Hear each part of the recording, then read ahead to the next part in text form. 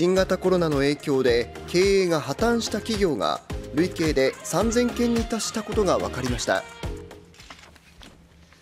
東京商工リサーチによりますと新型コロナの影響で経営が破綻した企業はおととし2月から2日までに累計で3000件に達しました。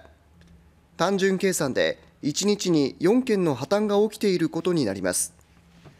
業種別では時短営業や酒の提供が制限された飲食店が517件で最も多く次いで建設業が318件食品卸が131件ホテル・旅館が113件と続いています。負債額では大阪の旅行業ホワイトベアファミリーが278億円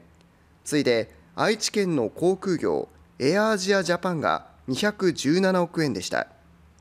このほか東京のアパレルメーカーレナウンが138億7900万円で6番目に多い負債額でした。